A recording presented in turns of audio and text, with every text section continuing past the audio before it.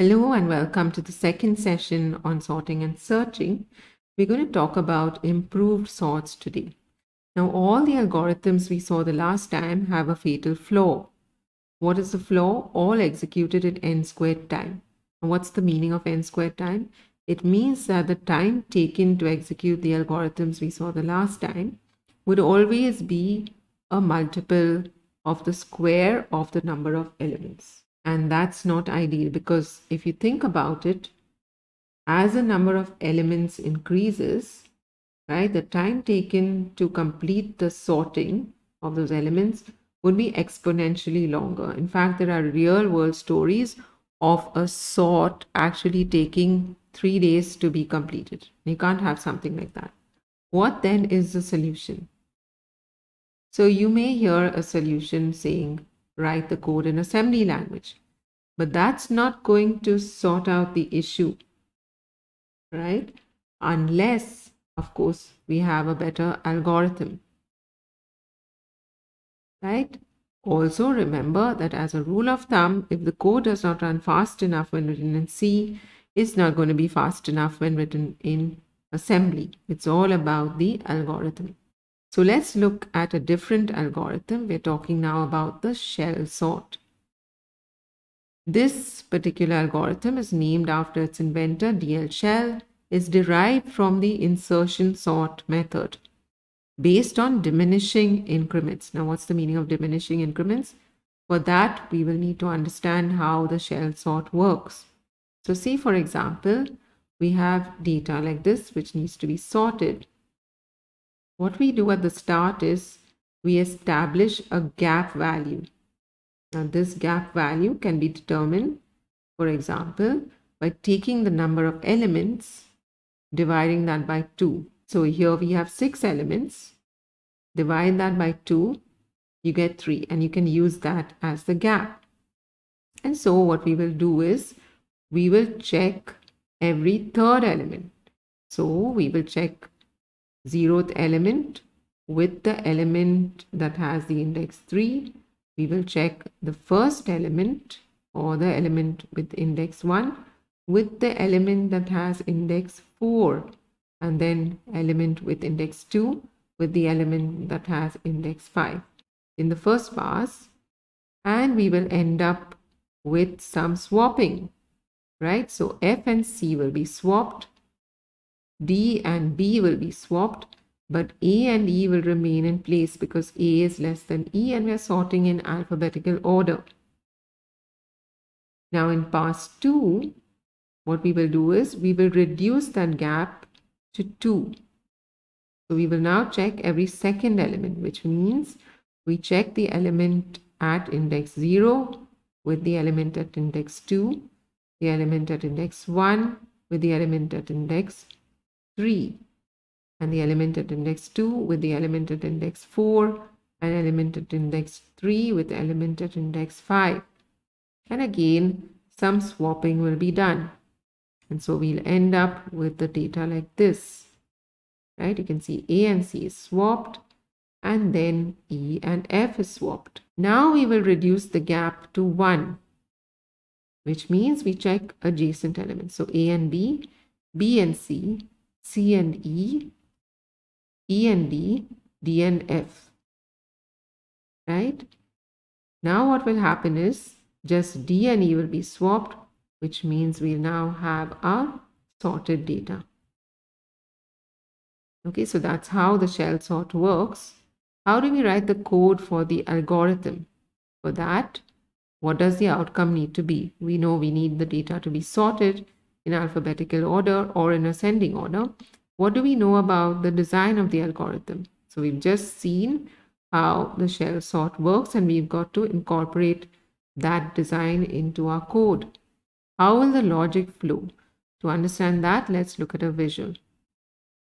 So here we have different elements. We've got numbers. They're a string of numbers. So the first initial data, as you can see, is 95321. Now we've got to establish the gap value. So here, since there are five elements, 5 divided by 2 will give us a quotient of 2, but we will have a remainder as well. right? So if the division leaves us with a remainder, we will increase that gap value by 1, right? So in this case, again, the gap will be 3. And so we will compare the zeroth element with the element with index 3. And so we'll have a swapping happen there. And then we'll compare the element with index 1 with the element with index 4 right and swapping will happen there as well now when we need to check this element with the next element which is 3 away which is now going to lead to a null so we can't do that. So in our code we need to take care of this situation wherein the index we are now talking about if we add the gap should not go beyond the array right? So that we'll incorporate into the code. And so this will be the end of sorting of every third element. So we have the data like this. Now we reduce the gap to 2 which means we check every second element. So 0 with element at index 2 1 with element at index 3 2 with element at index 4 and you will see for each of those there will be no swapping done right? Because we're checking 2 with 3 2 is less than 3 so that's already sorted. 1 and 9 is already sorted 3 and 5 is already sorted right? So at the end of sorting for every second element we will have the same string of numbers as we had after that first pass. Now we reduce the gap to 1 so we will check 2 against 1 so swapping will happen there. Right? Then we check 2 against 3 no swapping there. 3 against 9 no swapping there. And 9 versus 5 again that will be swapped and that's how we arrive at the sorted data. Now i hope you've understood how this works. Let's go ahead and write the code. Start a new file.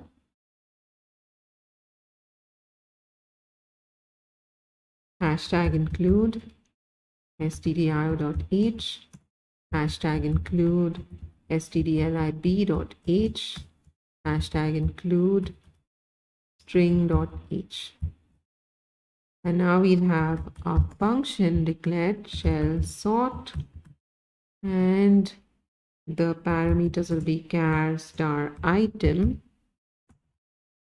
and int count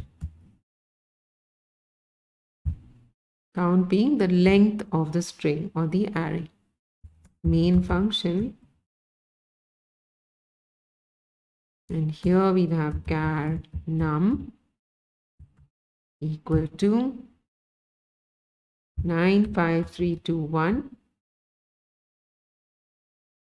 and then we'll have int len equal to strlen of num and then we'll call the function passing in the arguments num and len.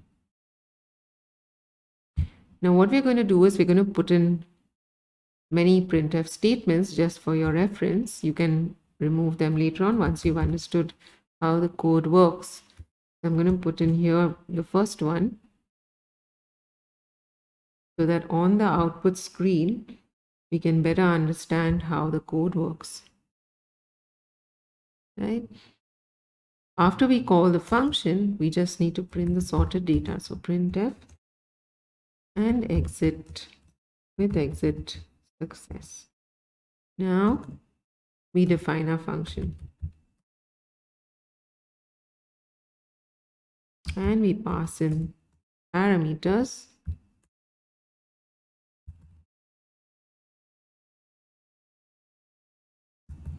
Now here we'll have int gap and we'll have rem for remainder equal to count percentage 2. If rem is greater than 0 then gap equal to count divided by 2 plus 1 else gap equal to count divided by 2 okay? And we need a char temp and we can put that up here itself. And temp will be used to help us to swap. We need a few more integers. I'm going to put those here. Comma i comma g which will be initialized to 0 now some printf statements. Here we say printf comma yeah. Okay. Then we start our iteration. So for i equal to gap i greater than 0 i minus minus. Okay? And within this loop we'll have a printf statement first. Now we'll have a second iteration. So for j equal to 0 and although we've initialized it first we will need to have it become 0 again every time this outer loop executes. So for j equal to 0 j less than count and remember we need to take care of j plus gap being less than count. Right? So that's our second condition. And then j plus plus now within this inner loop first of all we will print f,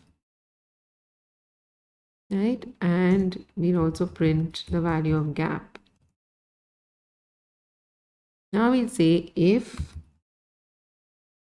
item of j is greater than item of j plus gap right? So the first time will be the zeroth element or the element at the zeroth position versus the element at the third position for example right? If the gap is 3 then we will now print again this printf is just for reference as i said right? And here we will do the swap now. So temp equal to item of j and item of j equal to item of j plus gap right? And item of j plus gap equal to temp right then after this we will print f again for reference and after this we need to reduce gap right for the next iteration. Gap minus minus that's all right so now let's run this and see the result. Oh there's a comma there. Right so let's run this. And semicolon. Right so let's look at the output now. So initially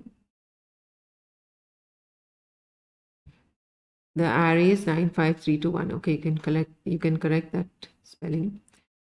Initial value of gap is 3 right? Because remember there are five elements and we discussed this earlier how we arrive at that 3 i is now 3 j is 0 gap is 3 item of j is 9 that's correct right?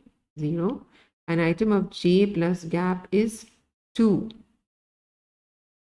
right? 0 1 2 3 So after comparison, that will be swapped, right? You'll have 2, 5, 3, 9, 1. Right? Then J is 1. Gap is 3, of course. Item of J is 5. And J plus gap will be 0, 1, 2, 3, which is 1. Right? And so those will be swapped. So you have 21395. Right? Now when it moves to 2, when that is j moves to 2, j plus gap will go beyond the array. And therefore you see we're not in that loop anymore. We are now going out to the main loop or the outer loop where i is now 2 right? J is 0. We reduced the gap now to 2. Right? And then we compare again. So 0 and 2. Right? So that's not going to move. J moves to 1 and again we compare 1 and 9. So that's not going to move again. Right? Then we compare 2 or the element at the second position 3 and 5. So that's not going to move as well, which brings us out of that inner loop and back to the outer loop where gap is reduced to 1. Right? So now item of j is 2, which is j is 0, remember? And j plus gap is 1. So we are comparing 2 and 1. And so those are swapped. Then j is 1 and we're comparing 1 and 3 so that's not going to move. Right? J is 2 then we're comparing 3 and 9 those are not going to move. But when we come to j being 3 0 1 2 3 then there's going to be a swapping there. Right? And then we end up with the sorted data now you can try this by increasing the number of elements and you should get the same results right? So for example, if I change this now to, let's say we add some more elements there. Let's add 8647 and you should have that properly sorted as well. Right, so you see that's sorted as well. Okay, so that's how the shell sort works. Now moving on to the quick sort. So this one was invented by Sir Charles, full name Charles Anthony Richard Hoare, based on the exchange sort. So you may say, oh, but the bubble sort is an exchange sort and it's really bad. Yes, but this one uses a different algorithm, right? So we'll see that shortly. It's built on the idea of partitions. Cleanest implementation is through recursion. Now we understand what recursion is, I hope. But what about the idea of partitions? So how does quicksort work? That's where we'll get into the idea of partitions. The general procedure is something like this. Select a value called a comparand. Again, how do you determine this value? And we'll come to that a little later. You partition the array into two sections, essentially assigning the comparand as the middle of the array or the middle value. All elements greater than or equal to the comparand will be placed on one side and all elements less than the comparand on the other side. The process is repeated for each remaining section until the array is sorted. Right? So as we through recursion call the function again and again, we have a new comparand, right, which gives us a new middle for each remaining section. And hopefully this becomes clearer when we write the code. Now let's talk about how we write the code for the algorithm. What does the outcome need to be? We know that we need sorted data. What do we know about the design of the algorithm? Now, hopefully you have a fairly good idea from the previous slide about the design of the algorithm and how we can incorporate that into our code. If you don't, no worries, we will look at a visual in the next slide and hopefully it becomes clearer to you. How will the logic flow? Again, we need to look at a visual. So here we are. You can see that we have data at the top and I've put the index of each element in brackets, right? Now, the first thing we need to do is, of course, determine the comparand. So for that, we'll take the index of the first element, which is 0, plus the index of the last element, which is 5, divided by 2, right? So we get 2 as the quotient. We're not worried about the remainder. So in effect, our middle or comparand will be D, right? And then we'll need a left and a right variable. Left indicating the zeroth element or index 0 and right 5. So that is what those will be initialized to. But we need to store the values of left and right because remember we're using recursion and we'll need these values when we're calling that function, when we're calling this function rather recursively. So we store the values of left and right in two separate variables. Right.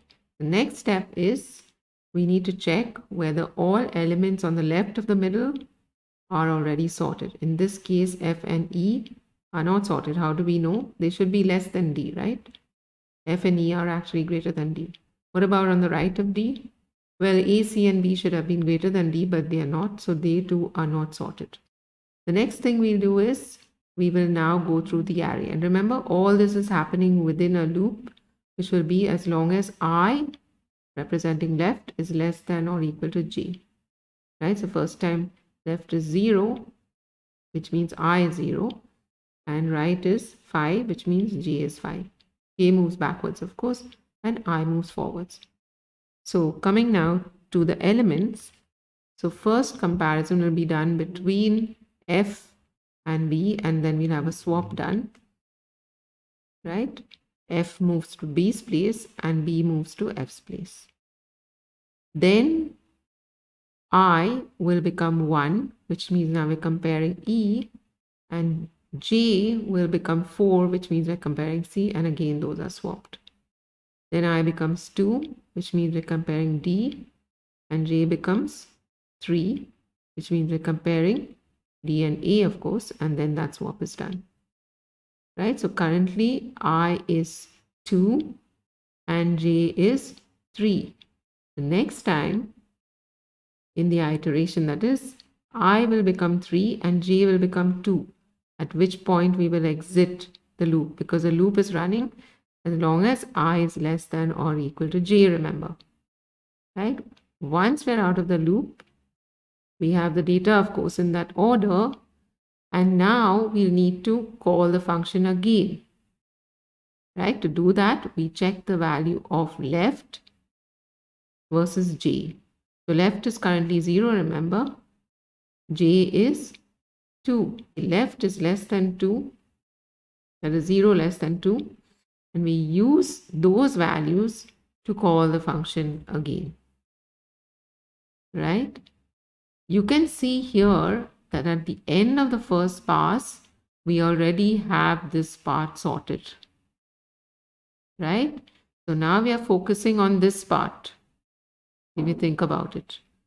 Right? And therefore that comparison of left and J. Right? So now we are calling with left and J, which means now we will have a new middle. Right? So these will disappear or rather these will be replaced and our new middle will be C. How did we arrive at that? Remember left is 0 and J is 2. 0 plus 2 divided by 2 is 1. Right? So the element with index 1 which is C is now the new comparand or the new middle. And then of course left and right. And again we go through that loop of checking. Right? So in this case we will be swapping C and A. Right? And remember, before that, we are checking whether elements to the left or the middle are already sorted, in which case, uh, in this case rather, this one is sorted, right? So we will actually move forward. And therefore, we end up comparing C and A, just for you to understand why we're comparing C and A and not B and C. Okay. After the swapping is done, remember the value of I will now change to 2 and the value of j will change to 1 right remember j is moving backwards now again we'll compare left versus j right? When we compare left versus j, we're comparing 0 to 1. Again, 0 less than 1. And so we call that function again with um, 0 and 1. What happens if this condition is not met? Then we will check right versus i. So we are focusing then on the right of the middle. Right now we are focusing on the left of the middle. Right. So when we say 0 and 1, and we call the function again using 0 and 1 the new middle again will be 0 plus 1 now divided by 2 and so these will be replaced now with the middle now being 0 why because remember 1 divided by 2 gives me the quotient 0 right and the left will be again 0 and then of course the right and then the comparison is done right and so we have the data swapped again. And finally, we end up with the sorted array. Now, I hope this is clear to you. Let's now go ahead and we will write the code. We start a new file. And hashtag include stdio.h and hashtag include stdlib.h and hashtag include string.h. Then our function is quick sort. And we pass in char star item and int left and then int right. Okay. And now we'll have our main function and here we have char str1 equal to int len equal to str len of str1 but in this case we need the index of the last element remember? So minus 1 right? Now again some printfs here just for understanding the code and then we call the function passing in the arguments which are str1 0 for left and len for right okay then of course print printf and exit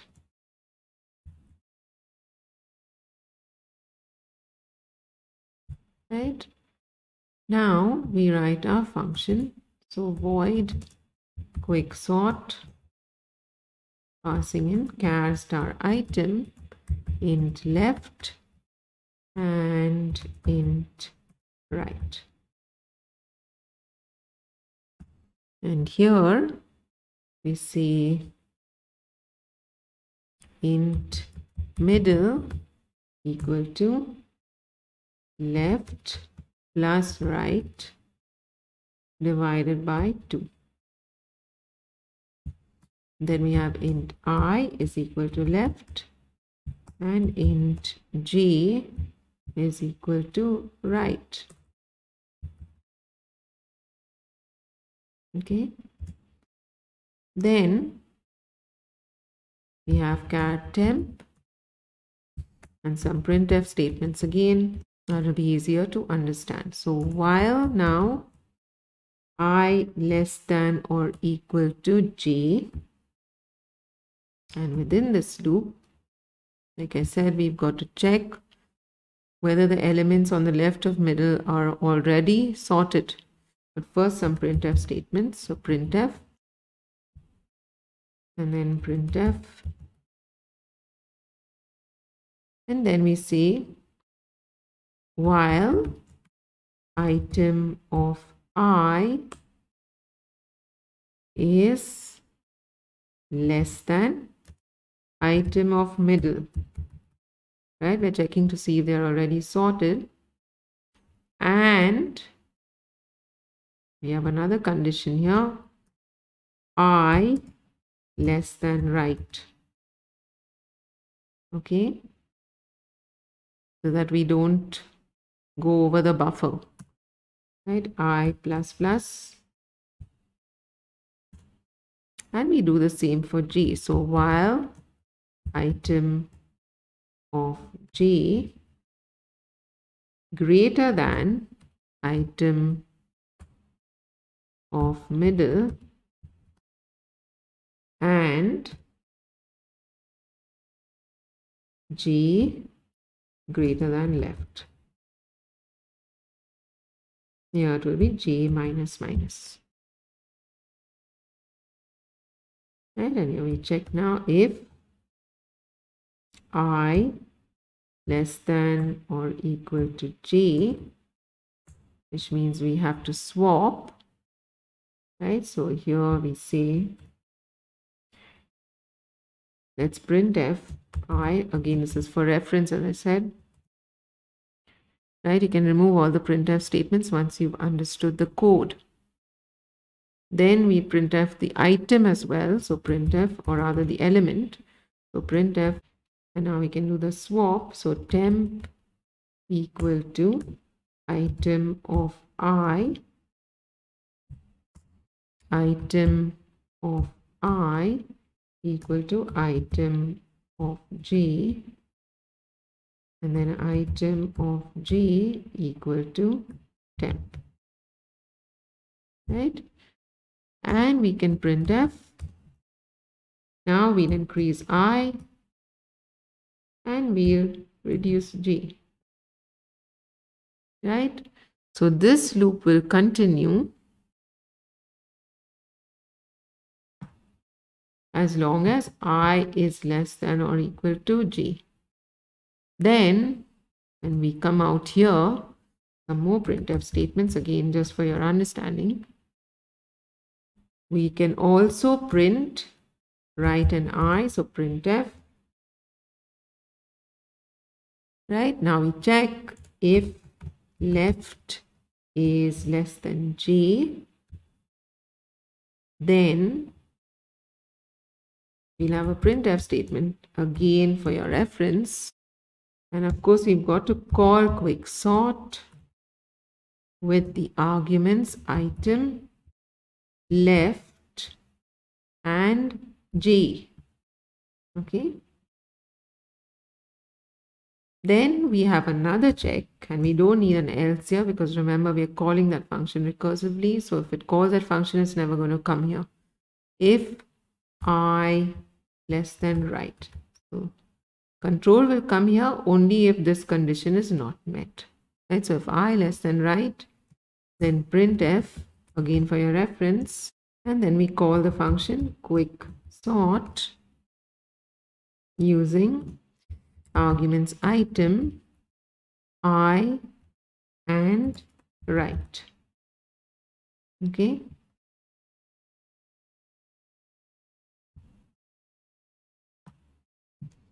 And that completes our code. Just check everything's okay. So here there's a percentage c missing there. And everything else is okay. What about here? So here we got to put in left comma j and i comma right Okay, let's run this now. Right, so now we look at the output. The original array was this. Our middle is D. Item of I is F. Item of J is B. Right, so that's going to be swapped. So you can see F and B are swapped. Right, the next is item of I is E. Item of J is C right? And so those are swapped, right? E and C are swapped, as you can see here. Then we move forward, like I said, right? I is 2 and J is 3, right? D and A, so those are swapped.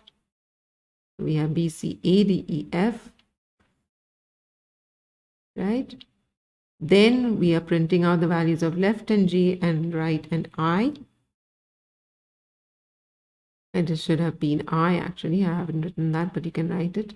And then we're calling quicksort with left and G. Right? As I said, we have a new middle C and then we repeat the process until we have the data sorted. Right? So I hope that's clear. That's about the quick sort. It's used a lot uh, in today's coding world, right? So it's important to understand how it works. And I hope I managed to get that across to you. This ends our session for today. In the next session, we'll talk about the merge sort. Till then, take care, stay safe. Bye.